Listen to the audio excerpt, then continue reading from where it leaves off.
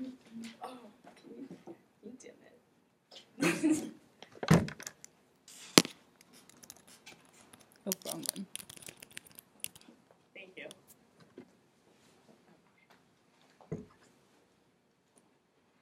Growing up, I was really quiet and shy around. Sh- I'm just gonna start over.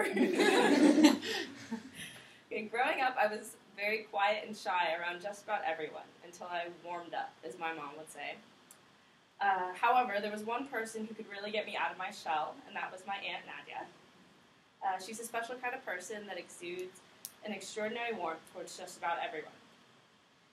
The reason I think she's perceived this way is because she makes whoever she's with feel loved, feel important, and she treats everyone she encounters as such. Whenever I'm with my aunt, she lets it be known how much she cares about me. Every time we see each other, she runs and gives me a huge and gives me a huge hug like I'm her most favorite person in the world.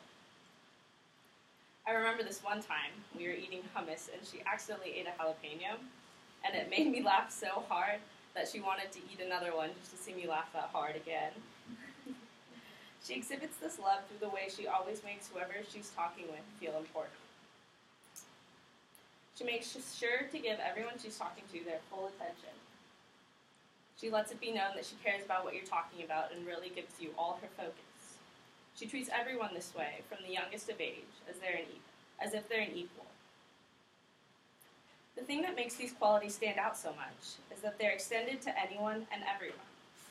She works in the special ed department at the University of Oregon and is probably the most patient person I've ever met.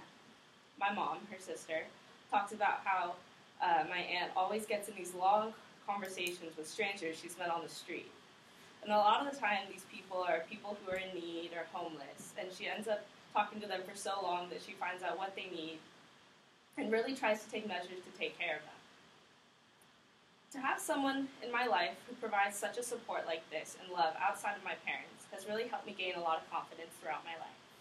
I'm so thankful to have someone like my Auntie Nat in my life who continues to remind, me and others that each and every one of us is worthwhile. Oh,